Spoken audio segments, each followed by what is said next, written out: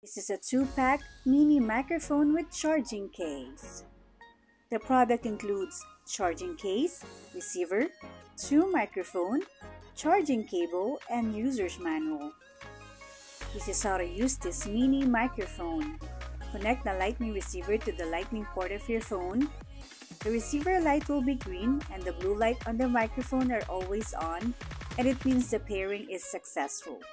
You can open the camera or any other app to use the microphone.